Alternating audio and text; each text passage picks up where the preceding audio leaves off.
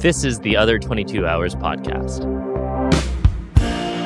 Hey, and welcome to this week's episode of the Other 22 Hours podcast. I'm your host, Aaron Shafer-Haiss. And I'm your other host, Michaela Anne. And since this show is not even one year old, which feels crazy, thank you so much for checking us out. If it's your first time here, if you're coming back, thank you for being a repeat listener. Yeah, we know there are thousands, if I heard millions of podcasts to choose from. We are humbled that we have so many repeat listeners and such an engaged community around this. This has been a goal for us from the beginning. So it's really humbling and fulfilling to see that really start to take flight. Since we have no backers, we have no sponsors, we have no ads, chances are that you guys heard about our show via word of mouth. So if you could take a second and just pay that forward to somebody that doesn't listen to the show, maybe this is your favorite episode, maybe it's a previous episode, but if you could just take one and share it with a friend that might dig it, we'd really appreciate that. Yeah, and we're not your typical music promo show. We're not talking about your latest record or the tour that an artist is about to go on.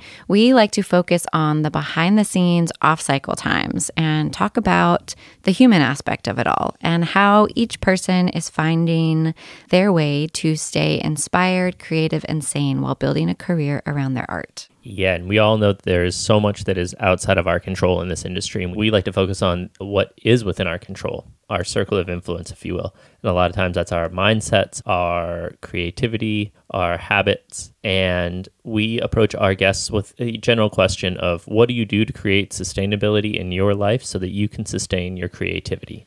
And this week's guest, episode 40 is John Craigie. And we had a great conversation with John that touched on a lot that is outside of music. If you've seen John's show, he does a lot of storytelling out there and really weaves that kind of narrative of like Arlo Guthrie comes up a lot in this episode of telling stories related to music, related to life, related to living, and intertwining that with songs.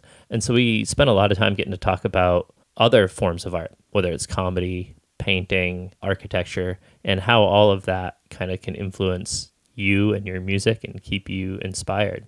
Yeah, and that word troubadour really comes to mind when mm. I think of John Craigie. And he is on the road a lot. He's opened for so many great artists, including Jack Johnson. Those are very big stages.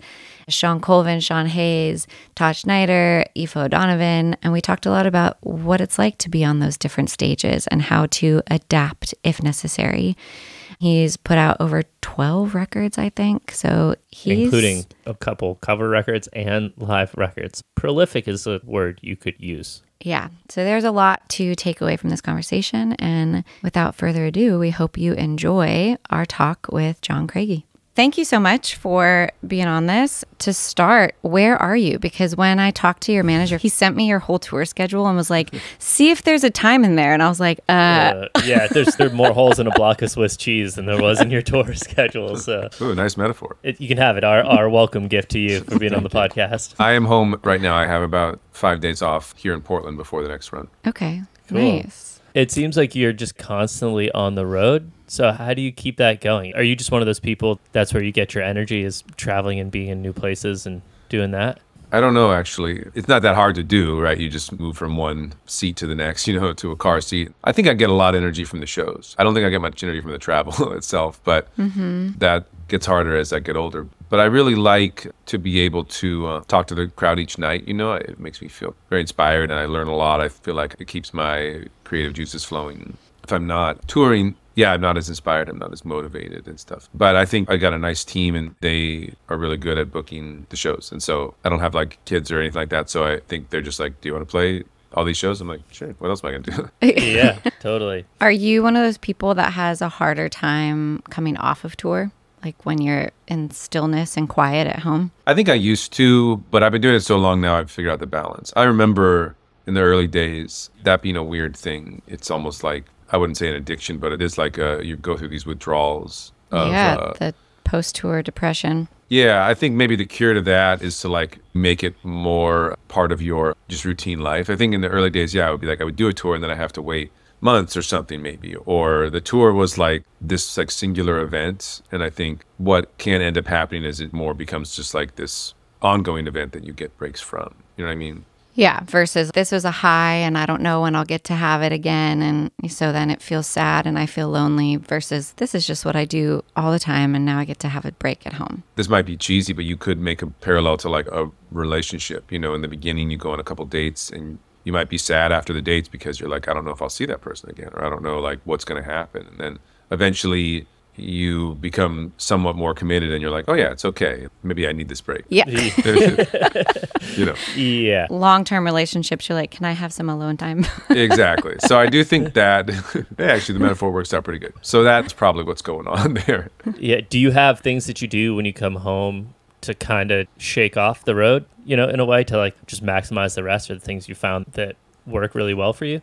Yeah, I really like to cook. So, like, just last night I made some soup. It would be very hard to do on the road, you know, gather all the ingredients and take the time and take a bath, read, listen to my vinyl, watch like a long, slow movie that I can really relax into. And then I have a lot of house plants. I was literally just looking at your plants and Yeah. was like, how do you keep those alive? Yeah. How do you keep those going? Yeah, I got a person or people that help me water. But then when I'm home, it's really nice to repot or reposition or propagate or trim. And so, although I don't really feel the need anymore, like to shake off the road or whatever, it is more like, again, just to sort of pause or this break. And, you know, I think also too, getting ready for the next one, assessing the stories I have and rethinking the show and the, the flow of the show and everything like that. do you change up the type of shows? Are you the kind of person that's like, I'm going to play X album from 2009 in its entirety or like whatever it is? Are there things like that you do to keep it fresh? I do a lot of storytelling and a narrative that goes through, and that tends to be developed throughout the summer, and then by fall it has some structure, and then I would deliver that similar to maybe what a comedian would do. I would deliver that throughout those like eight months of the normal tour, mm-hmm. usually somewhat retiring that by April or so. And then starting that over again. But as far as the songs go, yeah, it really depends on like if I have a new record. There's certain songs I like to play most nights just because it seems like people want that. Mm-hmm. Mm-hmm. And then certain songs I try to bring back. And it's really funny in this modern day as a musician because when I was a kid, you'd go see a band. It was very obvious what were the three or four songs they should play because based off of radio or based off of what the machine had like told us was the right ones. But what I find now, everyone discovers you from a different thing. There can be like a majority favorite song, but it's quite often that someone will be like, "I can't believe you didn't play so and so," and you're like, "Nobody likes that That song," was you a know. But deep, it's like, deep cut. but in their eyes, for whatever reason, like that's what they found on some playlist or something, and like they Right. assumed that was your big hit. I mean, that's not a bad thing. That's kind of like a fun thing, and it's fun to discover that. You also can kind of remember, oh yeah, like this town really likes this song. Sometimes you have a song that's like about a certain area or it's topical to that Yeah. location. Yeah. I'm so curious. I haven't gotten yet to see one of your shows, but I started hearing about you from Maya de Vitry. She's a really close, longtime friend of ours, and she and I have written quite a few songs together. But she was telling me just about your individualized approach to your performing and your career, which I really admire because I'm someone who's always getting distracted, like, oh, well, should I be doing that? Should I be mm-hmm. doing that?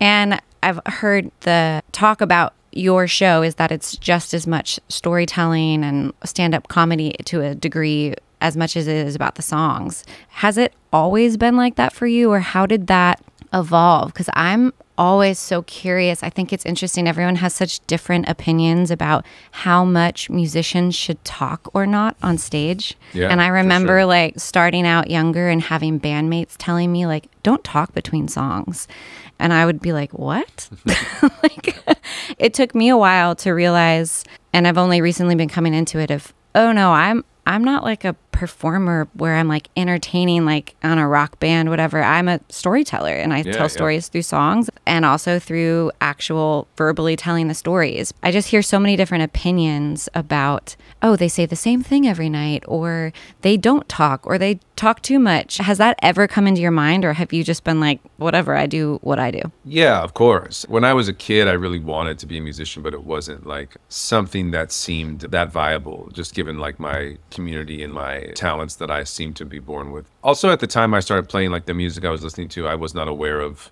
a lot of narration. I grew up in like the 90s and stuff. So I'd go to a lot of concerts like Pearl Jam, that kind of like 90s rock, like Bush, Third Eye Blind, Adam Trying to yeah. like whoever else I would have seen at that time. And I think it was probably like cool to not talk at that time. So it just wasn't a thing that I saw. Meanwhile, like there was the flip side of me as like a person socially that did a lot of comedic stuff like amongst my friend group. When I was a little kid, I really wanted to be like a Seinfeld or something. Mm-hmm. So I had all that going. So I definitely was known as like the funny kid or I was the class clown or whatever you want to call it. But music seemed like a very serious thing, which was fine too, because I had all of that as well. But I remember I moved up to Santa Cruz and I started to see like a lot of Americana stuff. There was like a scene up there for that. I think it was probably Arlo Guthrie who I saw first because I just liked that music. His show was like mostly talking and it was great. And it was like really cool the way he like weaved it together. Mm-hmm. And I remember thinking like, oh yeah, I could do that. And so in the beginning, actually, I would do that and my music wasn't all that great or memorable in the beginning. I wasn't that good at writing songs yet. But people would come up after the show and they'd be like, that talking, that was nice. you know? and that was like definitely came more natural to me, except for like the first couple years. That was a huge part of it. Unfortunately, in the early days of touring, like I was doing a lot of background type gigs, you know, and I don't know if you guys went through this, but for me, it was again not coming from a place of really good musician world. I would just travel around and play coffee shops and bars and stuff. There was no time to talk then. So mm-hmm. whenever I did get like a house concert or something like that, it was really cool. And I think I realized quickly like that's what was gonna turn heads, not me singing the boxer in the coffee shop that no one's gonna give a fuck. But um, yeah. Yeah. should a musician talk or not? It is a delicate thing because some people are good at it, some people are really bad at it. Not to say that anyone shouldn't do anything, but I'm sure we've all been to shows where like this person should probably stop talking. yeah. it's a very delicate moment up there, you know, with everyone listening to you, and a lot of people just free flow it, and some people are very good at that. You know, I just did a run with my friend Brett Dennen, and he is very different than me in that he just talks great and amazing, and it's really loose. It's very impressive. But then there's other people I think sometimes I've seen where I'm like, you're digging a hole. Yeah. Mm-hmm. And you tour mostly solo, is that correct? Or in like a duo or something? Yeah, mostly solo. I'm actually about to do a run Yeah. with three other people backing me up, but in general, yeah, solo I think makes the most sense for that kind of music. I was just going to ask, do you find that when you're with a larger band on stage that you talk less? As a sideman, it seems to be like I play in bands and the thing, especially like rock bands or something, it's like, oh, let's play at least three or four songs until we say something. And I was just wondering if there's a difference in that approach for you. the back people might like it if I talked less, but um, Yeah. it's at the point now where I do feel like that's an important part of the show, and especially like I was saying before, you kind of establish a certain set of stories that you're going to try to work through. You definitely feel less like pressured to. I think that's what happens a lot is that when people who are in bands all of a sudden are solo on stage, they're trying to fill the space a little bit with a story. Right. So for me, I've definitely done shows where I'm like, oh yeah, I could not say something. There's like more going on. The only time that's really happened is like a couple of festival gigs I've done late night with a bigger band, which I just did a couple of those this summer. It didn't make any sense because it was like in a full rock setting, and it would just would have Yeah. been like hard to. I feel very subtle when I'm talking. I don't feel very "What's up, New York?" or whatever. yeah. I do like need some sort of level of like attentiveness or mellowness from the crowd, if that makes sense. Yeah, absolutely. That's something I love about live music. There's this like real dance between the audience and who's on stage.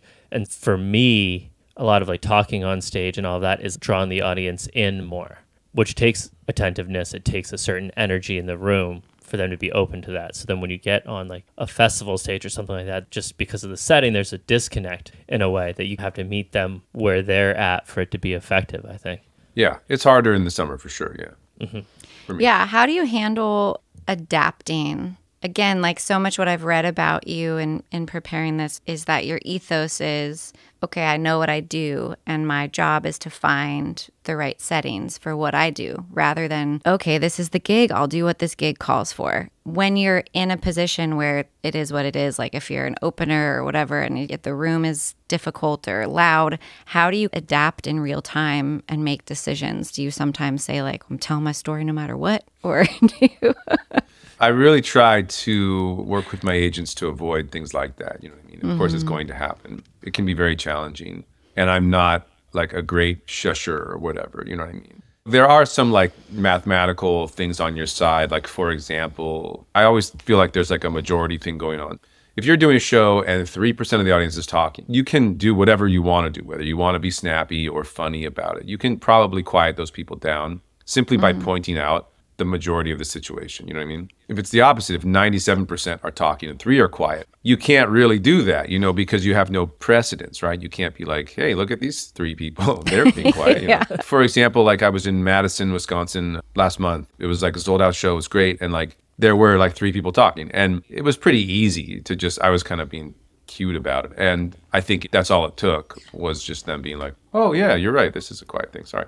But yeah, if it is a situation where it hasn't happened in a long time, but it was just like a 97%, then I would probably just accept that and just play the songs. Yeah. I think the hard thing really sometimes is this happens more like when you're opening and you have maybe some people came to see you and then they really want this thing but like you cannot deliver it. That can be Yeah. disappointing for me, I think. But again, that doesn't happen that often. I think an artist just has to be pretty like vigilant and attentive to where you're putting yourself when you're at that level. In the beginning, it's like whatever, go wherever. That's awesome, though, that you've been able to build a team that are on the same page with your vision, which seems like, yeah, of course, everybody should have a team, but that can actually be really challenging of finding the right agent manager who really understands your specific approach and where to try and find the right opportunities versus this is the channel we have, this is what we do, we just do it with every artist. Did that take some time for you? Definitely. I think also too, just because I'm not trying to say like what I'm doing is like extremely unique, but it's not the normal, I don't think. And so it took a while for yeah anyone in the industry to sort of understand the importance of that aspect of the show. You know what I mean? Once somebody sees it, I think it's not that hard. But I do think it's really hard to explain to sometimes an agent. For example, like okay, let's say there's a thousand people, they're about to go see someone. The thought is like, no matter what musician you are, that's going to be a good thing, right? But there's like many scenarios where that's not a good thing. Let's say it was like Slayer audience or something or Megadeth. It might be packed, but like that's probably not the best place for me to play. In fact, it's probably going to be pretty bad. Actually, you know? Mm-hmm. or they're talking, or they're drunk. I think that is hard for all of us to sort of wrap our head around in the beginning, right? Because we just think, "Ooh, I'd love to play Red Rocks." We get so obsessed sometimes with either the venue or the like optics. And realistically hopefully most people learn that those things actually don't matter and there's more subtle and specific things that matter more. Yeah, I think when you start to realize, oh, bigger isn't better, that there's more value sometimes in playing, or a lot of times, especially in opening positions, playing for a room of 200 captivated people versus being like background music as people find their seats at Red Rocks. I mean, this is like a total like nitty gritty logistical thing, but I didn't start doing this until the last year until I was opening for a band and saw their merch. I sell my own merch when I'm opening, well, all the time, but I saw their merch person at the end of the night did a like calculation of how much merch per head they sold. And I started doing that and I was like, oh wow that's pretty awesome because it makes even like the smallest of shows if you sold a lot of merch you start to feel like oh that was maybe even more impactful than totally that bigger show. And again, this is like one of the motivations of this podcast of trying to contribute to the conversation of everybody kind of shifting and personally discovering what are the things of value and what are the ways that we define success for ourselves when we're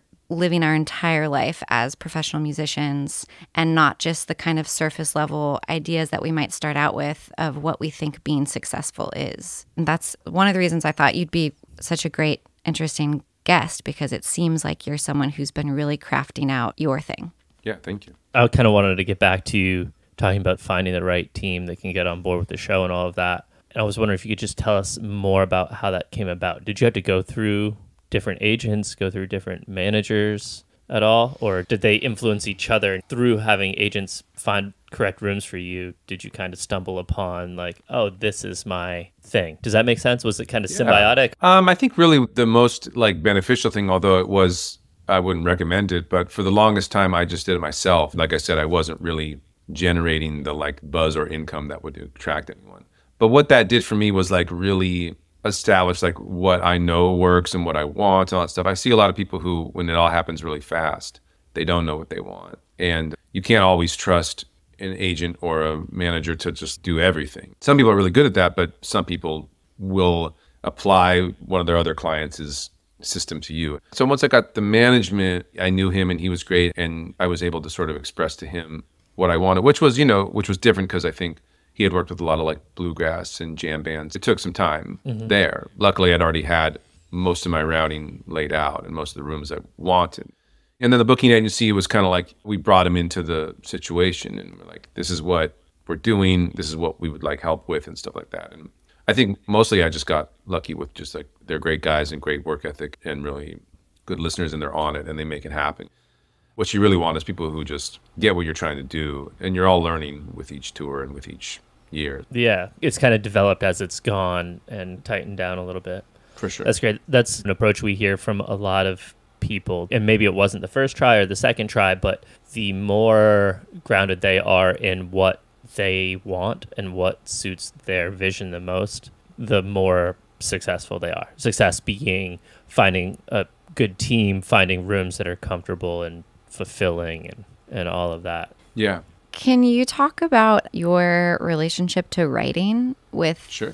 Being on the road versus when you're mm-hmm. home and what that's like for you? For me in writing, what doesn't work for me is like the I want to write a song or I'm going to go like a cabin and pound out a few. I suppose that could work for me. Like I could probably generate something, but I've never enjoyed that process, nor has it felt like worthwhile. I do think that, that the lyrics are like the most interesting part or the most important part of what I'm doing. So that can be a really hard thing to force. If you said like write great lyrics right now, I don't think I could do that. But if you're mm-hmm. like come up with something really pretty, that feels a little more like structural. I could possibly like get to work on that. So anyways, what can happen for me sometimes and when I can buckle down is if I have 10 songs and they're all just like need a couple lines to finish them, you know what I mean? Or they need a mm-hmm. verse or whatever. That's the work that I would do. But in general, I find that I'm yeah most inspired on the road and I get most of my ideas from the road and then when I have that time, usually like after sound check, like the two hours or so before mm-hmm. I go on, that's a nice time for me. I'm with my guitar.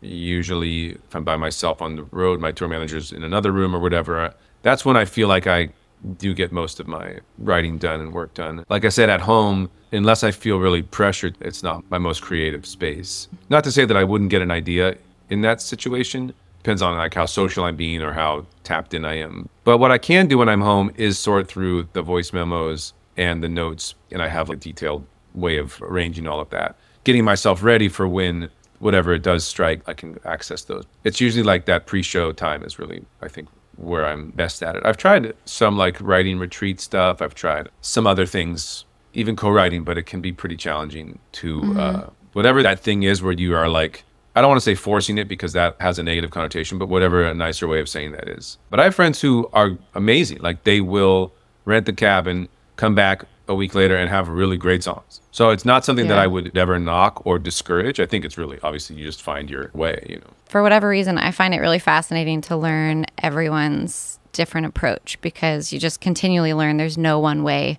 to be creative or to create work, then record and build a livelihood on. I love retreats. I just did a retreat last week and I like doing them alone, but I also like doing them with a group of people. I do it with like a few girlfriends that are songwriters and we make a very specific schedule and we're like, okay, 9:30 we do object writing and then we meditate and we like are just doing this for ourselves and holding each other accountable, which feels like I'm able to access my writing ability more than when I'm at home. Even before we had a kid, now it just feels like writing at home. There's so much to do. There's so much laundry and like Yeah. you know. and because I also know people who are like, I can never write on the road. It's impossible to write on the road because my mind is going to too many things. But is it different when you have a band with you? Yeah, probably. It's hard to define those like alone times. And I think sometimes too, one thing that can happen is like you're maybe you're less adventurous. Not to say that like all songs have to come from some sort of weird interaction on the road. But yeah, I think with a band you might be more insular. You're not looking out as much at what's happening around you. It will be like this next month I'm doing a tour. They're my friends also. So it will be like less of that time backstage where I'm like alone with my notebook. And that's fine. You know what I mean? Mm-hmm. I don't feel like a, a lot of pressure to like keep churning stuff out. It seems to come. There might be a time when that isn't the case, and I look forward to that in a way, being more creative with how I have to do it. You know what I mean? Do you ever feel business pressure of like, shit, I need to make a new record soon? No, I've been lucky in that it seems to be symbiotic with what the normal amount of writing one should do. You know what I mean? I don't feel mm-hmm. like I'm one of those people who has too many songs. You know, I have some friends who have like an album every two months if they wanted to. You know, I don't feel like those people who don't have enough. I don't think my team like would work in that way, but probably if I didn't have something for like five years. What's nice with the live aspect, I'm able to put out live records as well. I mean, I do, I worry sometimes about the bits, the stories, those I have more pressure and stress about than the songs themselves. You know what I mean? Like, Oh, um, interesting. just because I really feel like that needs to be fresh every nine months or so. And I can't really keep repeating those. Now, I'm not saying I'm at this level, but I do think that a musician can definitely get to a level if you have a two or three songs that people like, you could probably milk that for a while. You know what I mean? Mm-hmm. But with the storytelling aspect, which I do think people are interested in and coming to the show for that. Every June when I start the summer and know that like my job this summer is to essentially develop eight or nine new stories bits, I always have this moment of like, I don't think it's gonna happen. And even like the night before the first show in September when I'm supposed to debut all these things, I'm like, this seems like it's not gonna work, you know? Yeah. Yeah. so that is what keeps it interesting, I think, for me. Like I talk to some friends who get a little bored touring. I think what I can offer them is like when you do storytelling or some sort of element of like comedy, it does keep the show really interesting because if we all know this, like a song has its natural reaction, right? The clap, and sometimes it's bigger than others, and sometimes you might be like, oh, that really landed. But when you're doing the storytelling, like it really is there's no guarantee. You could be having an amazing show, like with an mm-hmm. amazing crowd, and something just won't land. And so there is always Yeah. that moment of risk at the beginning of every story that is very exciting. And it's mm-hmm. also just really fun after the show to be like, oh, they really like this. Or like my tour manager a couple nights ago was like, wow, they didn't laugh at blankety blank, which is like always a laugh. And I was like, I know, it's Thanks, that weird. you know? man. Yeah. yeah, yeah, no, it's it's great. I mean, I'm at the point now where like you do it enough times, like a bomb is kind of fun. You're like, ooh, that one. I wonder why that didn't land. Did I put the emphasis on the wrong syllable? And so anyway, yeah, I think that's. I know that's a little off the topic of what you asked, but yeah, that part is way more interesting to me, and there's a lot more subtlety within the bits I found than necessarily with the song. I don't Yeah. the bold statement, but yeah. No, I love that stuff because I feel like there's such an underestimation from some musicians, maybe, of what a practice and art it is to tell a story and mm-hmm. develop the pacing and where, like you said, the emphasis on syllables. I mean, obviously, there's a whole moth radio hours dedicated to this type of work and developing how to tell a story. But are your stories attached to your songs? Are they like in a flow of being some story behind the song or to introduce a song, or are they standalone different vignettes? Sometimes, but I would say not that often. More often, there will be some event that happens to me that I think is funny and informative. That has to do with me and probably like my career, not necessarily the song. And people like that. What I really like doing is like coming up with like an actual, just like observational comedy bit. You know what I mean? What's the deal with this? You know, or whatever. Not that generic, of course, but that's like my favorite that I think sometimes is tougher to land because again, it's a little more outside of the box, you know, in the sense of like what a narrative songwriter would be doing. But it can work. Usually then I have to sort of figure out a way to tie it in with the song. I found that that gets a better laugh. On this current tour, I have this like bit that I came up with about the process of buying edibles in the current era versus like when I was a kid. Mm-hmm. And that's very much laid out in like a very standard like comedic way that really could have nothing to do with my music, of course. It's like a classic it used to be like this, now it's like this. And you're Right. comparing the two. And it was getting laughs fine, but once I found a way to sort of weave it into the song I was about to play, it worked better. And I don't know if that's just something that's like familiar or the fact that I'm not a comedian. So people are probably like, "Eh, is he trying to do that thing? You know, and so I think if you can keep it reined in into sort of the realm of like a concert, it can work better. But that's like some microscopic stuff that I don't want to bore you guys with. I- I love this it. stuff. yeah, I was just going to ask if comedy was something that you studied. Maybe not formally, but like, do you listen to stand up on the road? You know, like I spend most of my time in the studio producing records. So, like, I inadvertently, when I listen to a record, my head is picking apart how they made the record, how they made the arrangements and stuff like that. Does that happen to you when you're listening to comedy or you're listening to Moth Radio Hour or something like that? For sure. And I remember as a kid, I was always doing that with the limited stand up that I could digest as a child, whether it be like Seinfeld, George Carlin. Like, I'm trying to think of people that were like creating recorded stand up at the time. I mean, it's not very fun to talk about, but like there was like a lot of Bill Cosby records at the time. But I remember when like Napster came out, I was able to like download a lot of random Lewis Black, Dane Cook. I'm trying to think. There was like a lot of like early 2000s comedians that had just put a ton of their shows up on LimeWire or whatever Napster. Mm. And what was cool about that is I could I would hear like the same bits told at, at different shows, different nights, and that's when I really started to watch oh, okay, this one got a bigger laugh simply because he put it this way, or he emphasized this, or he screamed it instead of whispered it. And then I would see people like Todd Snider, Arlo Guthrie, Greg Brown, Loudon Wainwright, these other musician guys who were doing this. I would see them tell a story twice and be like, oh, mm-hmm. okay, this is cool. So, Yeah. yeah. in that sense, I studied it immensely. That's Yeah. cool. I really respect that.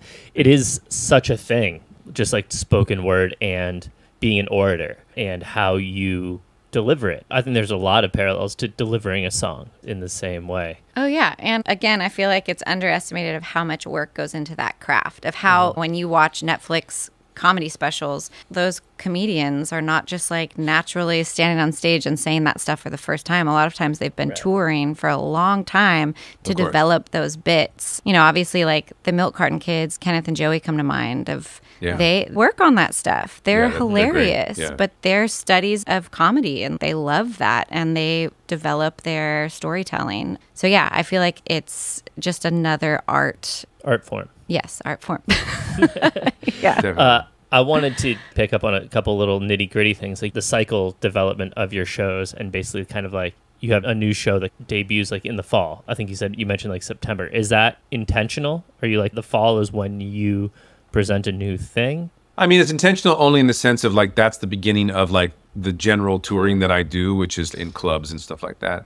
And summer tends to be a good time to sort of like workshop, generate, because I'm doing festivals, which means I'm talking less on stage, which means I'm like giving like the highlights of the best of from the previous nine months. But meanwhile, like more stuff is happening. I'm doing like weirder things in the summer, like festivals. So I'm getting more ideas then, and I have more time. I'm hanging, I'm being more social, I guess, and hanging out with more people. It seems to be like a good time to sort of like reset everything. And then, Yeah, uh, harvest. yeah, because like between September and May, in general, I will go to like most of the places I go to once. I suppose if I did it in January, it'd be fine. But then, of course, like there would be some sort of weird lag because then I guess it's just September is the beginning of the cycle, if that makes sense. Yeah. seems to be that people look at the year in two ways. There's either like the calendar year and it starts in January, or there's like the school year and it starts Yeah. in September. Like we are the opposites. I think January starts the year for me, and she's always Cool. like, "Oh, that was last year," and she's just talking about May, like I've the end of the school year. Yeah, I've always thought in school year. Now you have to get on the same page. Now I got to. because Yeah, we have a daughter in school, so I got Yes. I got to get on that page. Finally.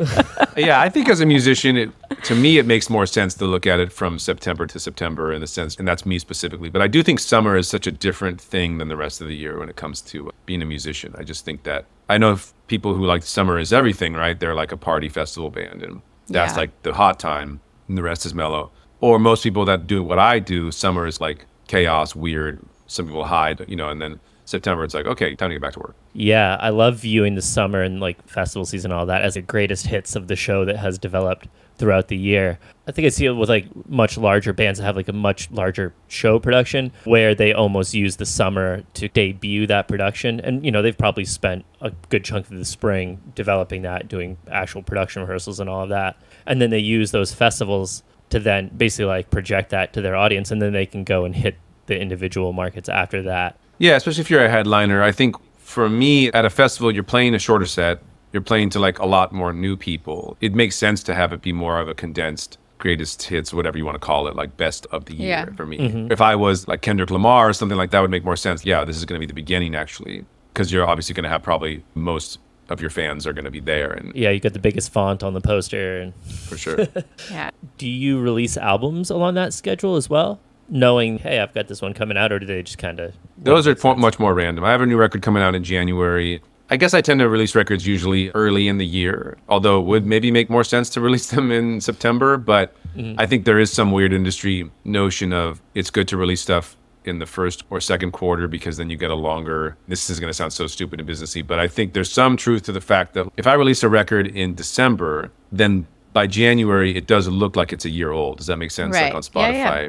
Mm-hmm. I don't think that matters that much, and I don't think people care that much. But I guess there is probably something to that. But yes, so January, February, or March tend to be like when things are popping out for me. I imagine there's some freedom in there in having this kind of like perpetual tour cycle that you have. There is freedom to kind of release records on their Yeah. own cycle. Totally, totally. Can you talk a little bit about like how much the business stuff does have to come into play for you of balancing being on your path, being dedicated, and then also navigating the ups and downs of the business. And does that stuff ever feel challenging? Does it ever like dictate your emotions? And then what do you do to help that? Or are you pretty steadfast and that's going to be what it's going to be and I'm going to just keep going? Well, I definitely don't like the business aspect at all. But I think as you go, you have to somewhat find your peace with it.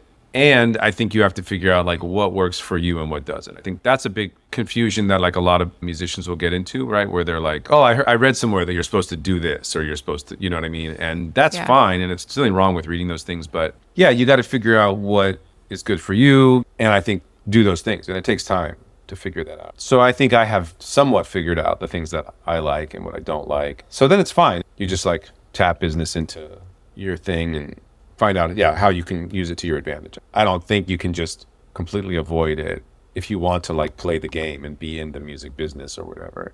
But I also think it can really mess with your head and really be unhealthy. Have you learned ways, if you've ever had moments where it kind of messes with your head, of how to combat that or recenter? And Yeah, I think again, always just to be like, why am I doing this? What do I enjoy about this? I don't have to do this. You know what I mean? There is no rule, like there is no boss. I think sometimes people also, especially when they're younger, forget that their team works for them as opposed to like they work for their team. It can be hard to oh, like yeah. Mm-hmm. forget that. You know what I mean? I think a good team doesn't necessarily mean for it to feel that way, but it can just feel that way, right? And I'm sure there's probably other businesses where that also feels that way, right? Where you're the boss and you're like all of a sudden you've got a team of people, lawyers and stuff like that, and maybe you might feel pressured. So I think that's the most important thing is like it's your ship. It can do anything.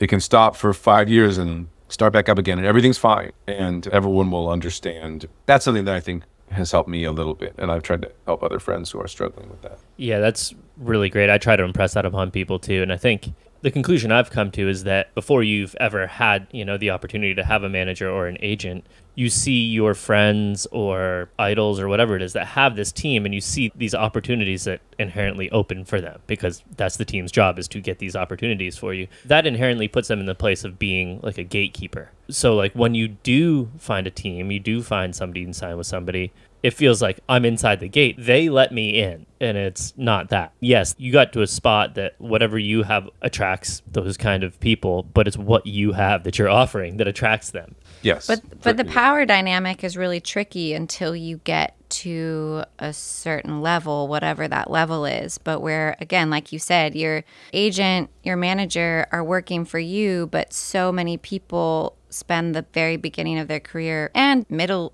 end of their career trying to get those people and then once you have them it's like please don't leave me like please still want to work For sure. for me yeah, yeah, for sure. And especially if you get big fast and you don't know what's going on and you get some bigger, yeah, I can see why they would be like, this is what you got to do. And you wouldn't know not to, you mm-hmm. know.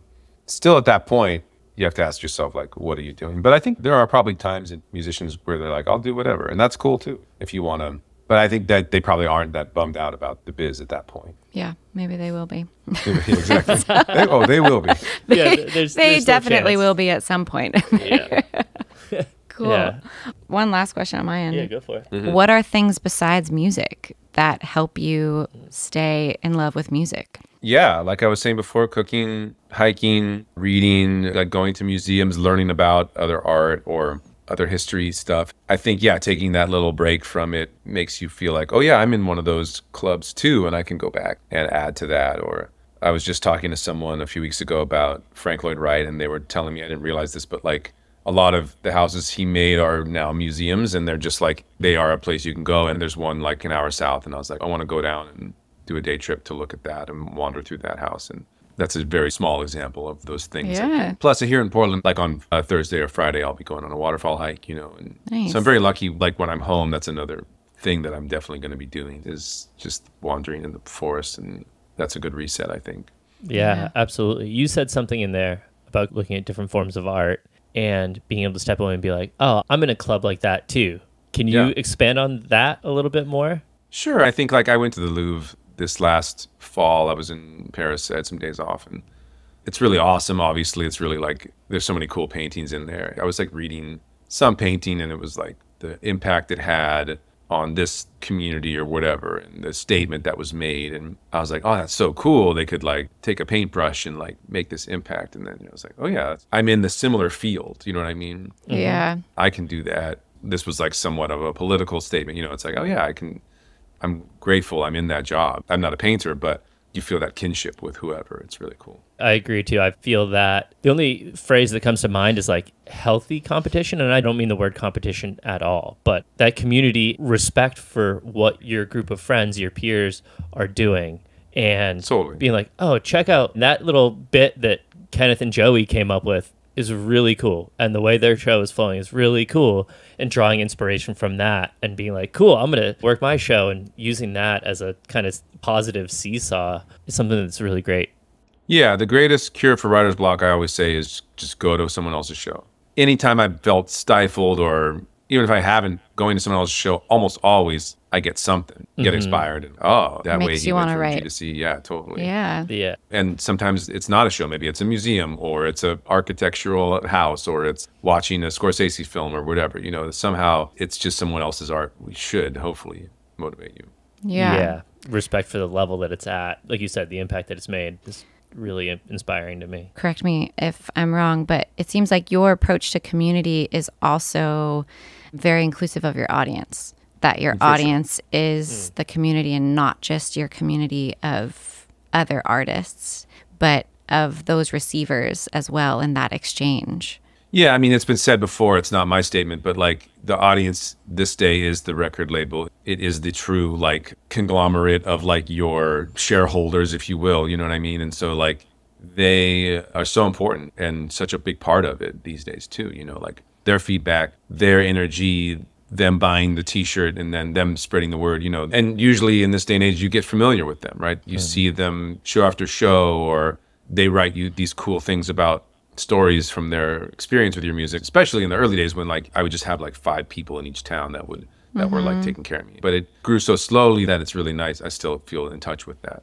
Yeah, I know not everybody likes that closeness. I personally really love it and have fans that I just think that's so cool. I have somebody who still comes to my shows who randomly came to like a DIY art space the very first time I ever played in DC and he's followed me, showed up at shows every and not in a weird way, in like a really pure just supportive fan way. I think that part is really cool. More so than if you're like shielded from the people who receive your music. I mm. love that connection. Yeah, me too. That's awesome. Yeah. Well, this is a great spot to kind of wrap up our conversation. We really appreciate you carving out time in your morning to hang with us and to mm-hmm. share your insights and your thoughts and all of that. Thank you so much. Yeah, me too. Yeah. Hope to catch you anytime you come through Nashville. Yeah. Yeah, I should be there soon. I'm sure they like me there. So I'll keep an eye out. I literally went through your whole tour schedule. so. yes, yes. John, it was great to sit with you and talk to you and get to Yeah, meet thanks, you a little bit more. See you soon. Yeah. Yeah. All right. Bye. Take Bye. care. Thank you for listening to this week's episode of the Other 22 Hours podcast. You can find more info on this episode, including links to things that we talked about, by going to theother22hours.com and clicking on episodes. Reviews go a long way in getting our show in front of more listeners. So if you enjoyed today's episode, please take a moment to go leave a quick review wherever you listen to podcasts. And we'll see you back here next week for another episode.